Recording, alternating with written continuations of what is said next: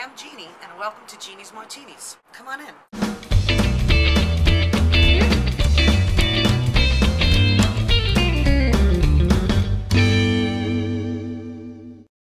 Hi everybody, welcome back to Jeannie's Martinis. I'm not going to just show you how to make drinks, I'm also going to bring you behind the bar and show you all the ins and outs of bartending. You're probably used to sitting on this side of the bar and really don't know that much about what's happening on that side of the bar. So today I'm going to take you on that side of the bar so you can get some, a little bit familiar with what's going on back there. Come on. When you first come behind a bar, if you are going to be interested in bartending, you need to know where everything is and you have to become familiar with it.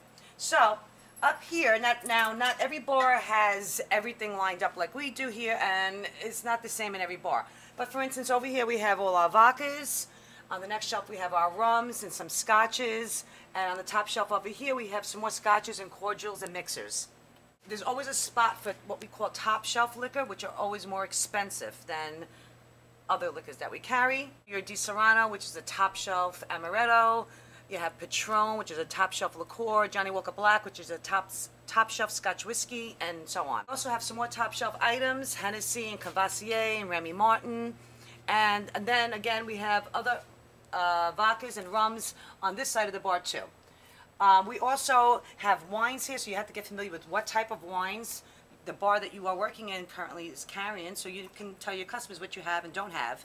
We also carry beers, so you have to become familiar with what type of beers you carry. Like uh, here we have Amstel and Heineken and Corona and Budweiser and Coors Light. Behind the bar, it's usually always a cooler where we'll keep like uh, wines chilled. We have more beers in here. We have uh, some olives and milk and mixers and whatnot, and that's all kept behind the bar and usually in a cooler. And then you have a fruit tray. In the fruit tray, you'll find your lemons and limes and cherries and olives and all your garnishes that you're going to need.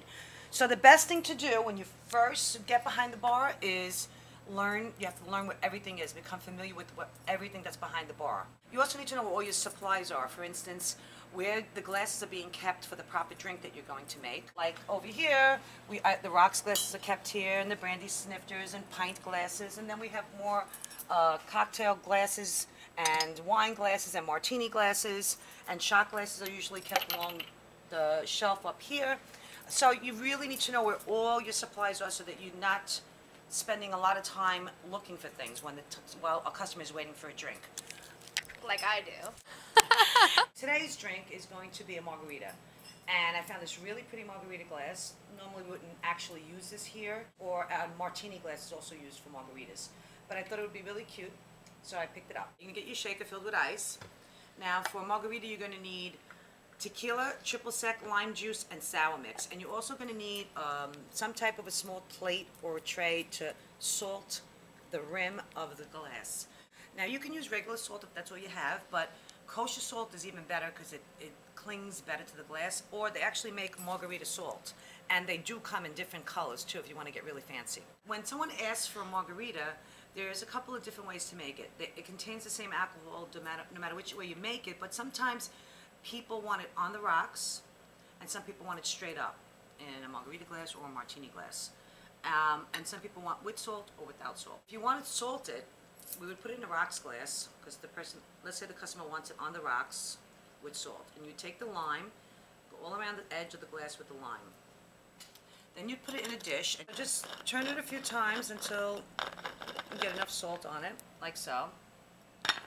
Then you're gonna put ice in the glass because they want it on the rocks with salt. So it's gonna go in the glass. And now you're gonna take, you're gonna do a three count of tequila, three count of triple sec, two count of lime juice, and a couple of splashes of sour mix. Put the cover on it. This shaker has a cover already, so we don't have to transfer shakers. Shake it up really good. The more you shake, the better it's gonna come out. And you're gonna garnish that with the lime and a straw.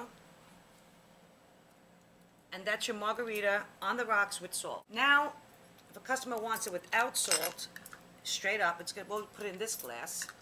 And we're gonna go through the same thing. You're gonna do three count of tequila, triple sec, lime juice, a couple threads of sour mix.